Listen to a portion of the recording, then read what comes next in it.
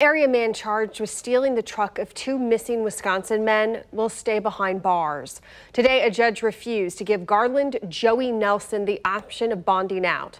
On Friday, authorities said the missing men, Nick and Justin Diemel, were presumed dead, though no one has been charged yet with killing them.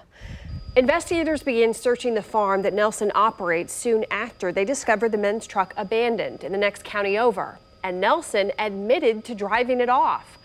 As KCTV5's Betsy Webster reports, people who know Nelson say it's hard to imagine any possible involvement in the men's demise.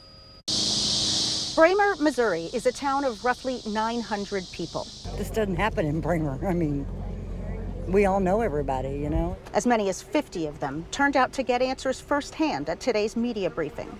I never thought in the world that either something like this would ever happen.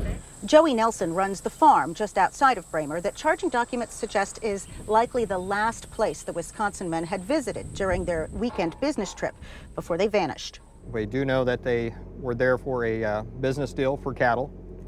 Um, during that transaction, we do not know what exactly occurred yet. We're working to find that all out. He says the Nelson property spans 74 acres. Investigators have had tents up and lights on overnight for nearly a week now. Rumors around town have become rampant and disturbing. We've heard, you know, multiple stories as to what could have happened, what might have happened. You wake up in the middle of the night and that's what you're thinking about. Neighbors knew that Nelson had spent two years in a minimum security branch of Leavenworth Federal Prison for cattle fraud. But that was a financial crime, not a violent one. Nelson spoke about that in an Iowa public television station report after he was released last year. I thought, well, at the worst case scenario, I've done something that I broke a rule and a loan didn't commit a crime. I didn't, you know, go out and rob a bank or anything like that. Most of us get over our head one time or another, but that's how you learn how to swim. He's a retired rancher who goes to church with Nelson and his family.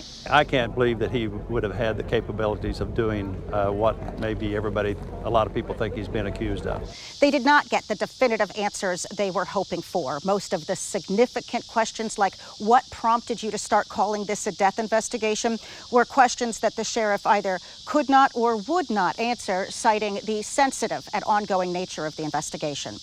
Betsy Webster, KCTV 5 News.